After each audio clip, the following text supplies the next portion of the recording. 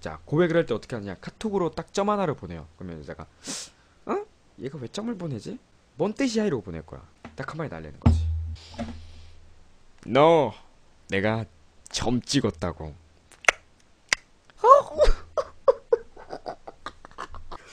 그러면 어마 날 점 찍었다고? 그래 사귀자. 널 오늘로써 점 찍었어.